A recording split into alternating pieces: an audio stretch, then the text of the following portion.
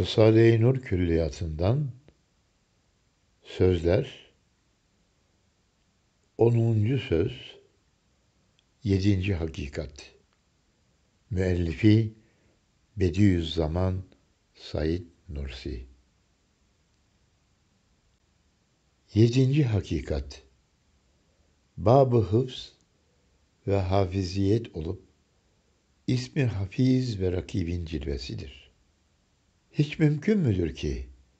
Gökte, yerde, karada, denizde, yaş kuru, küçük büyük, adi ali her şeyi kemali intizam ve mizan içinde muhafaza edip bir türlü muhasebe içinde neticelerini eleyen bir hafiziyet, insan gibi büyük bir fıtratta, hilafeti kübra gibi bir rütbede, emaneti kübra gibi büyük vazifesi olan beşerin, rububiyeti ammeye temas eden amelleri ve fiilleri muhafaza edilmesin. Muhasebe eleğinden geçirilmesin. Adalet terazisinde tartılmasın. Şayeste ceza ve mükafat çekmesin. Hayır, asla. Evet şu kainatı idare eden zat, her şeyi nizam ve mizan içinde muhafaza ediyor.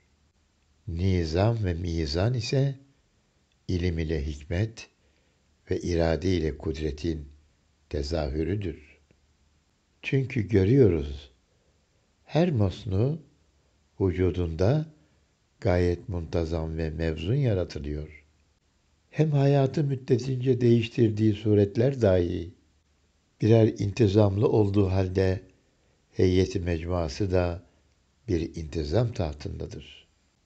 Zira görüyoruz ki vazifesinin bitmesiyle ömrüne nihayet verilen ve şu alemi şehadetten göçüp giden her şeyin Hafiz-i Zülcelal birçok suretlerini elvah-ı mahfuza hükmünde olan hafızalarda ve bir türlü misali aynelerde hıfzedip ekser tarihçi hayatını çekirdeğinde neticesinde nakşedip yazıyor.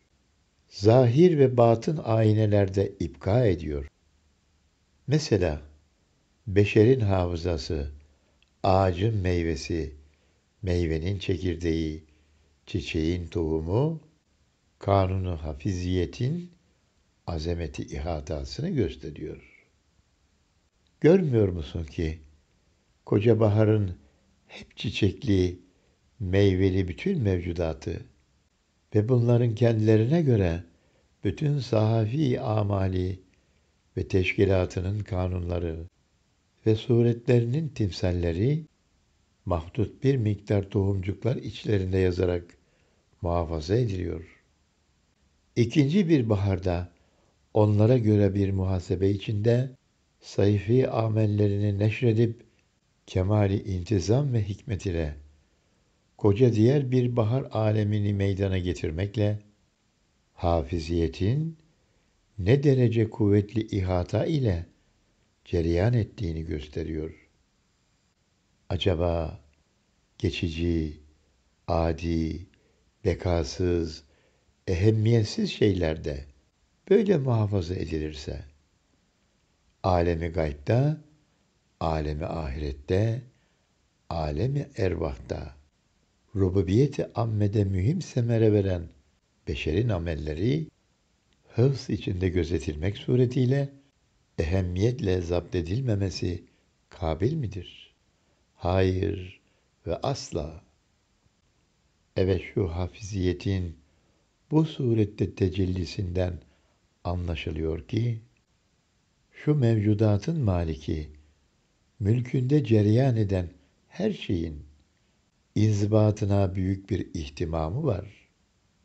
Hem hakimiyet vazifesinde nihayet derecede dikkat eder.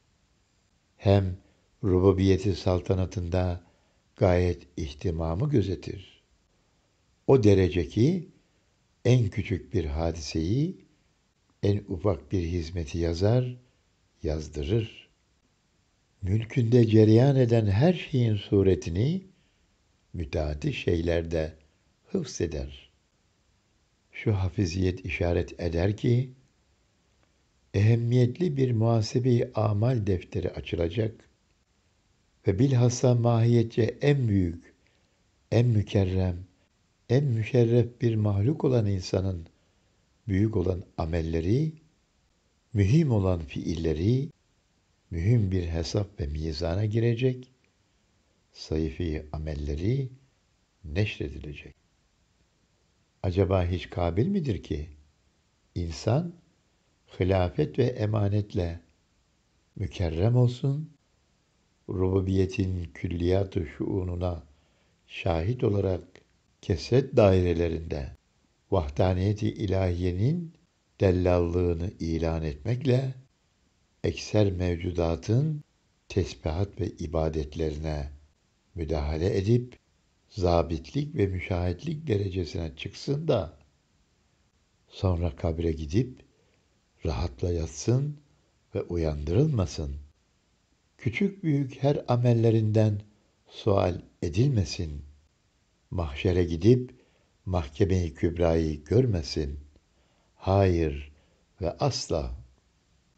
Hem bütün gelecek zamanda olan mümkünata kadir olduğuna, bütün geçmiş zamandaki mucizatı kudreti olan vukuatı şehadet eden ve kıyamet ve haşre pek benzeyen kış ile baharı her vakit bil müşahede icat eden bir Kadiri Zülcelal'den. İnsan nasıl ademe gidip kaçabilir, toprağa girip saklanabilir? Madem bu dünyada ona layık muhasebe görülüp hüküm verilmiyor, elbette bir mahkeme kübra, bir saadeti uzmaya gidecektir.